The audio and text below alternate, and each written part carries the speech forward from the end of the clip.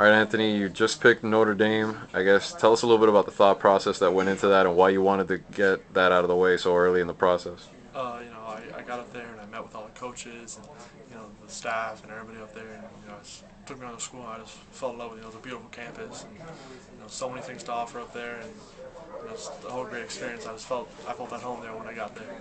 You had some pretty good schools though that were trying, like you know, and still probably are going to keep trying to get you. You know, tell you Notre Dame's not good for you and all that. But why why do you feel like this is it that they can't offer you anything that Notre Dame can't?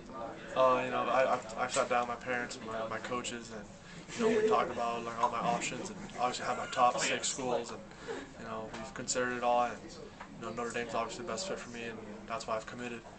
And you know, everything they have to offer as an education, football-wise, and you know, it's just the best fit. And I don't think any other school has everything that they're offering me. So.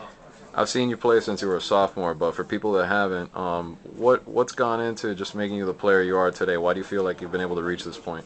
Uh, you know, coach, my, my defensive line coach, Coach Marty, he's done me since my freshman year. You know, he's been coaching me, so he, he's definitely been a, a big help in, in my success in Columbus, and also Coach Trujillo. You know, he's the one who brought me up, so they've definitely brought me into the program was with you know a lot of help and you know doing a great job with me and coaching me very well. So they're definitely a huge part of my success.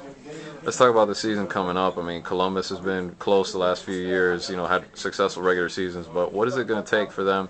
to get a little further this season, you know, get that big win that's been a little, you know, elusive the last few years?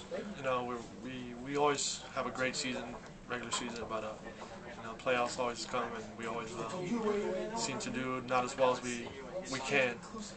But uh, you know, it's gonna you know it's gonna take us to do you know we're gonna have one have to have one of those perfect games that we have in the regular season that we just dominate the whole team. That's we're gonna need one of those games, and that's how we're gonna be able to roll through the playoffs if you know we play as a unit. And, you know, no penalties, no no mess ups. You know, just have a perfect game as a team overall, and that should know, do the job we have the good enough athletes. You had one of those, like almost one of those games. I know when you almost beat Northwestern in that regular season game. I mean, how much did that do just for confidence, just to know that you know we can beat these guys if we execute till the end? Yeah, you know, definitely you know, lose by two points, it, it hurts, but uh, you know, it's definitely it's like a, a goal.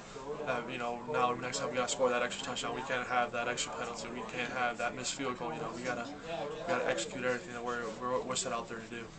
Talk about your teammates this season. I mean, what do you have? I mean, what's the team looking like so far? I mean, some of the guys with you on defense you know, it's a lot of young kids out there. You know, a lot of kids who've never played a varsity game. So it's, it's going to be a, a, a good uh, first interesting games. You know, it's, it's going to be really interesting and see what uh, what the kids can do, and especially myself. You know, with, with a whole new team, pretty much. You know, I've, I don't have Tommy Heffernan back there anymore with me, so it's, it's definitely a, it's a whole new system I'm going to have, and a whole new group of kids. So it's definitely going to be a something to look for. On offense, there's some changes too. I mean, one of the big changes was obviously Tacoi Sumler, you know, coming in. I mean, talk about what he's going to bring to the offense this year. You know, he's one of the, the fastest kids in the nation right now, so it's definitely a great thing to have on our side. And you know, he's definitely going to bring you know big plays to our side. And, you know, look for him with the ball. It's going to be dangerous. You know, look for two guys covering him at once. So it's going to be dangerous.